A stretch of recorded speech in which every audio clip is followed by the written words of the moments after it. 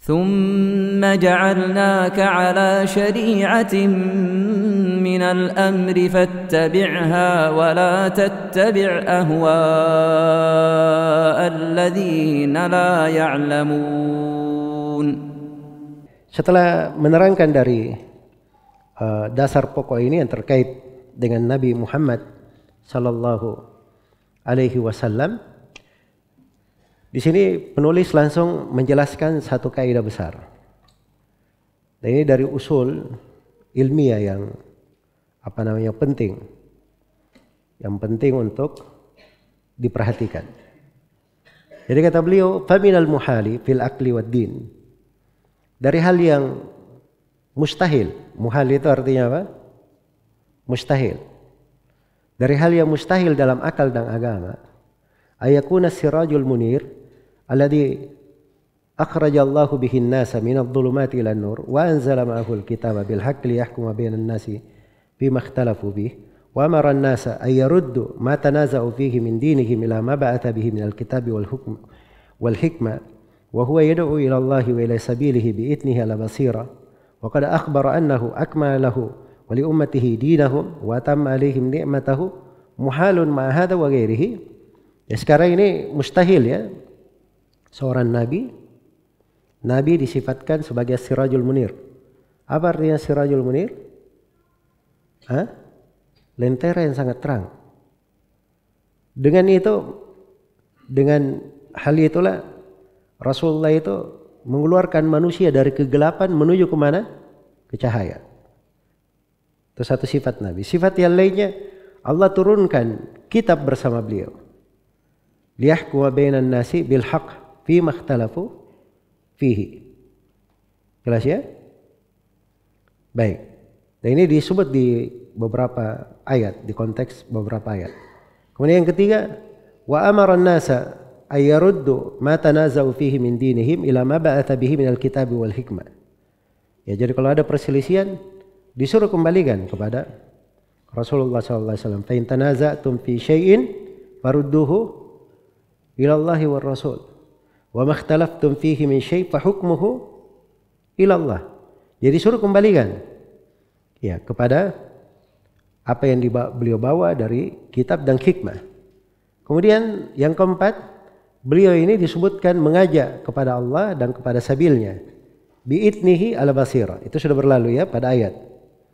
Kemudian yang kelima, disebutkan bahwa telah disempurnakan agama beliau untuk beliau dan umatnya. Nikmat sudah lengkap. Itu pada firman Allah Subhanahu wa taala, "Al-yawma akmaltu lakum dinakum wa atmamtu alaikum ni'mati wa raditu lakumul Islam madina." Jelas ya? Baik, ini lima hal. Maka berdasarkan lima hal ini dan selainnya masih banyak lagi. Mustahil, muhalun ayakuna qad taraka babal imani billahi wal ilma bihi multabasan mustabahan. Mustahil beliau tinggalkan pembahasan tentang keimanan kepada Allah, berilmu tentang Allah, ditinggalkan bab ini dalam keadaan multabas. Tidak jelas. Mustabahan. Banyak syubhatnya. Tidak mungkin itu. Karena Nabi itu adalah apa? As-sirajul munir. Iya. Kata beliau, "Falam yumayyiz lillahi min al-asma'i was sifati al-ula al-ulya wa ma yajuzu alaihi wa ma yamtani alaihi." Iya.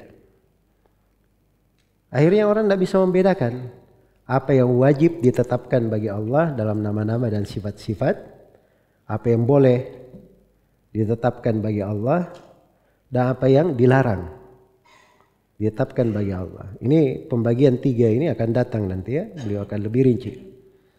Poinnya di sini sekarang yang ingin kita ambil sebagai kaidah. Ini besar sekali ya cara Syekhul Islam itu memaparkan jelas sekali. Langsung mengobati akar pembahasan. Akar masalah. Iya, itu sifat-sifat Rasul sallallahu alaihi wasallam. Nabi Muhammad itu adalah lentera umat ini. Agama beliau sudah sempurna. Jalan beliau paling terang. Jadi tidak mungkin beliau itu tidak menerangkan. Jadi kalau kalian misalnya dibacakan ayat Ar-Rahmanu alal arsyistawa Allah di atas arsy beristiwa Kalian bilang istiwa itu maknanya bukan istiwa tapi maknanya istaula. Maknanya apa? Istaula. Tanya aja ke mereka. Kenapa Nabi tidak terangkan itu mana? Kenapa Nabi tidak terangkan? Kalian bilang kalau dibaca dohirnya itu tidak boleh. Itu menyesatkan katanya. Baik kenapa Nabi tidak terangkan kalau memang itu menyesatkan manusia? Ini tidak masuk akal. Mustahil. Jelas ya? Mustahil. Baik. Misalnya dibaca sifat di dalam Al-Quran. Bal yadahu mabasutatan. Bahkan kedua tangannya terhampar. Dia bilang tangan di situ bukan tangan, nikmat. Diartikan nikmat. Baik Nabi itu beliau sirajun munir, bisa menerangkan. Dan beliau membawa petunjuk, agamanya sudah sempurna. Kenapa beliau tidak terangkan? Kok bisanya kalian ini baru muncul setelah ratusan tahun Nabi Shallallahu Alaihi Wasallam wafat setelah tiga generasi pertama para aima kalian baru datang membawa takwil-takwil yang seperti itu. Mana umat-umat yang telah lalu? Mana Nabi Shallallahu Alaihi Wasallam? Dan nanti akan beli sebut lagi ya para sahabat. Jadi ini bentuk hujah yang luar biasa ya sebenarnya dari beliau. Dan ini bahasa Syekhul Islam Ibn Taimiyah ini rahimahullah. Ini uh, beliau sebutkan di sebagian bukunya. Kemudian ditalkhis oleh Ibnu Al-Qayyim rahimahullahu taala dalam beberapa bait syair yang bagus di dunia beliau. Di sela-sela bantahan beliau kepada ahlu ta'til. Iya. Jadi saya bacakan dari Nunia Ibnu Al-Qayyim ini sebab ini dari bahasa Ibnu Taimiyah juga. Ini akan melengkapi pembahasan yang ada di sini akan disebutkan oleh beliau.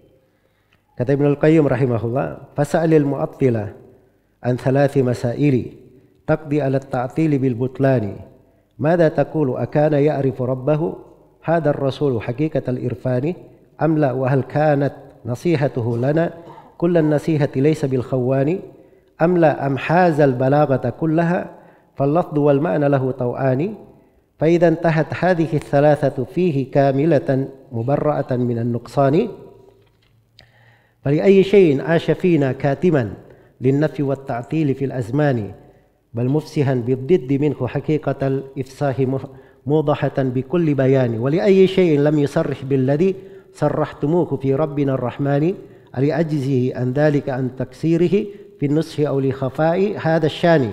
حاشاه بل ذا وصفكم يا أمة التأثيل للمبعوث بالقرآن. Ringkas ya Masya Allah beliau bilang fasalil mu'attil. Tanya orang-orang yang melakukan ta'til itu. Selalu melakukan ta'til. Apakah dalam bentuk takwil maupun yang semisal dengannya. Tanya tiga pertanyaan. Cukup tanya kepada mereka tiga pertanyaan. Takdi alat ta'til bil butlani. Kalau sudah tanya tiga pertanyaan ini tiga pertanyaan ini ini akan memutuskan bahwa mentaktil, mentakwil itu adalah hal yang batil. Tidak ada keraguan. Pertanyaan yang pertama ماذا تقول al kana ya'rifu rabbahu هذا الرسول حقيقة الإرفاني sekarang pertanyaannya ini nabi nabi ini apakah dia mengenal Robnya iya dia mengenal Robnya dengan pengenalan yang apa namanya yang hakikat dengan sebenar-benar pengenalan atau tidak Sekarang tanya pertanyaan ini. Ini Nabi tahu nggak tentang hal itu? Apa yang kalian takwil itu? Saya beri tadi contoh-contoh ya, mereka takwil suatu. Itu Nabi tahu atau tidak kalau memang itu benar? Kalau mereka bilang tahu, terus Nabi kenapa tidak bicara? Iya. Jadi yang kita yakini bahwa Nabi itu tahu segala sesuatu tentang Robnya. Kalau ada yang perlu dijelaskan, perlu diterangkan, pasti Nabi akan apa? akan menerangkannya. Itu hal yang pertama. Dia nggak bisa lepas itu. Terus yang kedua, tanya pertanyaan yang kedua. Amla hal kanat nasihatu lana kullan nasihati laysa bil khawani. Pertanyaan yang kedua. Nabi Muhammad ini seorang penasihat bagi umat atau bukan? Tanya ke mereka. Apa artinya penasihat? Penasihat itu adalah orang yang tulus terhadap umat. Dia akan memberikan segala hal yang diperlukan oleh umat. Tidak ada satu masalah pun kecuali diajarkan kepada mereka. Karena itu Nabi Shallallahu Alaihi Wasallam di dalam hadits yang diriwayatkan oleh Imam Muslim dari Abdullah bin Amr bin As, beliau berkata, Innahu lam yakun nabiyyun qabli illa kana haqqan alaihi ayadullat ummatahu ala khairi ma ya'lamuhu lahum wa yundhirahum syarra ma ya'lamuhu lahum. Tidak ada seorang nabi pun sebelum kalian kecuali nabi ini wajib menjelaskan segala kebaikan yang dia ketahui bagi umatnya. Dan Nabi ini wajib menjelaskan segala bahaya yang bisa membahayakan umatnya. Beliau penasihat, tidak ada yang meragukan. Iya. Sama dengan para nabi dan para rasul sebelumnya. Yang mereka berkata, Inni lakum nasihun amin. Saya bagi kalian adalah penasihat yang terpercaya. Beliau penasihat. Kalau ada yang kurang bagi umatnya, beliau pasti akan menjelaskan. Kalau ada hal yang membahayakan umatnya, maka beliau pasti sedih. Kalau itu menimpa mereka, maka beliau terangkan supaya mereka terhindar dari bahaya itu. Itu Nabi Muhammad wasallam. Tanya kepada mereka, Nabi Muhammad seperti itu atau tidak? Mereka pasti akan menjawab, Nabi Muhammad nasih. Kalau begitu kenapa Nabi tidak terangkan takwil-takwil kalian kepada kami? Kok tidak ada di dalam riwayat-riwayat. Baru kalian memunculkannya. Kenapa Nabi Shallallahu Alaihi Wasallam tidak mengajarkan tafsir itu kepada para sahabat? Ketika para sahabat membaca ayat wajah rabbuka wal malaku soffan soffa, tidak ada di sepotong tafsir pun para sahabat diajari itu artinya ja'a rahmatu rabbika. Artinya rahmat Rabbmu yang datang, bukan Rabbmu yang datang. Tidak ada di sepotong tafsir pun. Nabi ajarkan kepada para sahabat. Andai kata itu takwil benar, maka Nabi pasti sudah apa? Mengajarkannya kepada para sahabat Rasulullah Sallallahu Alaihi Wasallam. Iya, baik. Jadi Rasulullah Sallallahu Alaihi Wasallam itu adalah orang yang penasihat bagi umatnya, sangat penyayang untuk beliau. Ya, penyayang bagi umatnya. Bahkan beliau sangat sedih kalau ada orang yang menyimpang. Laqad ja'akum rasulun min anfusikum azizun alaihi ma anittum harisun alaikum bil mu'minina raufur rahim. Telah datang kepada kalian seorang rasul. Ha? Sifatnya itu azizun alaihi ma anittum, harisun alaikum. Itu sifat beliau. Kalau ada yang menentang itu berat bagi beliau. Sedih beliau. Dan beliau sangat semangat terhadap kalian. Sekarang ini ada orang-orang yang menyangka kalau membaca zahir nas Al-Quran dan Sunnah tentang sifat-sifat itu adalah pintu kesesatan katanya kalau diambil. Berarti Nabi biarkan umatnya subhanallah jatuh dalam kesesatan, Nabi tidak terangkan. Kalian yang terangkan. Hebat sekali. Itu tidak masuk akal. Ini pertanyaan yang kedua. Pertanyaan yang ketiga. Kata beliau, amla wa hal hazal balaghata kullaha fal lafdhu wal ma'na lahu ta'ani. Baik pertanyaan ketiga, Nabi ini orang yang paling fasih berbicara atau tidak? Mereka akan bilang bahwa Nabi itu orang yang paling fasih dalam berbahasa. Baik, beliau kuasai seluruh balaga, keindahan bahasa atau tidak? Jawabannya iya, beliau kuasai seluruh keindahan balaga itu.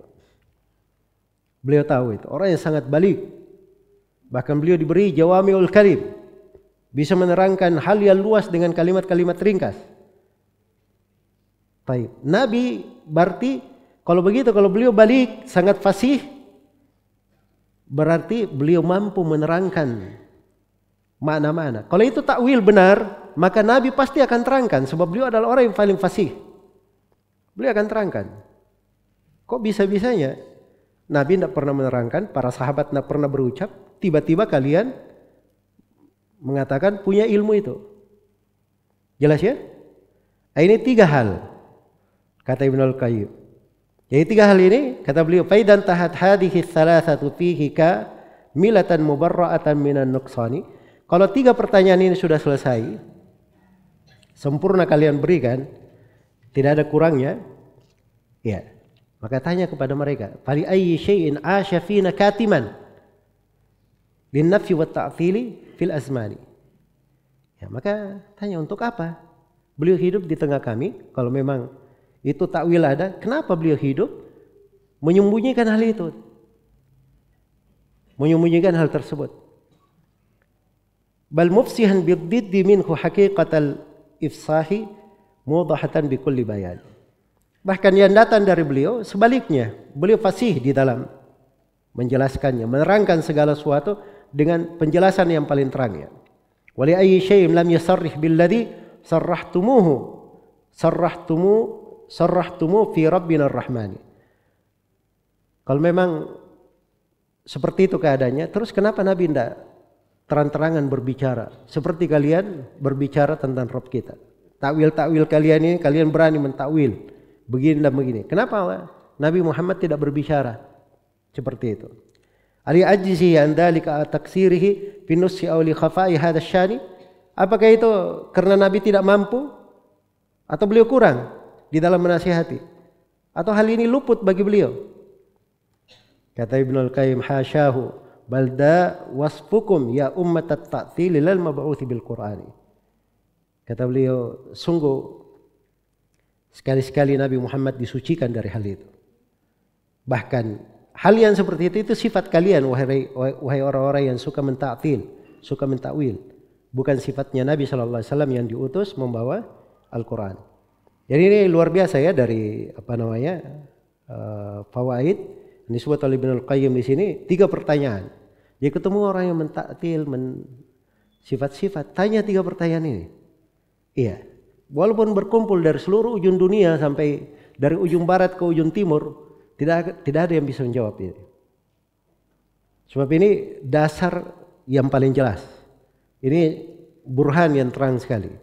Mengungkap akan apa namanya? kebatilan mereka.